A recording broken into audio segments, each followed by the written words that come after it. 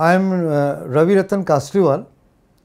I am chairman of clinical and preventive cardiology and the teaching program here at Medanta the Medicity. The endothelium is the first lining of all the arteries of the body, including the heart and the brain.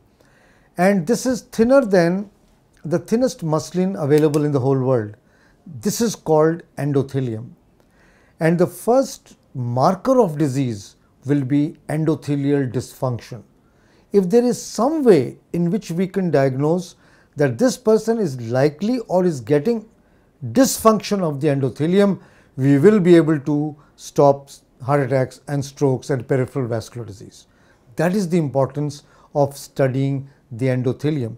If you lay the endothelium of a human body side to side, you will be able to fill four tennis courts. That's how big and massive it is. And it is very, if you get angry, you know, you will have endothelial dysfunction. If you eat uh, trans fatty acids, it will allow build up of plaque. So it's a very active uh, membrane.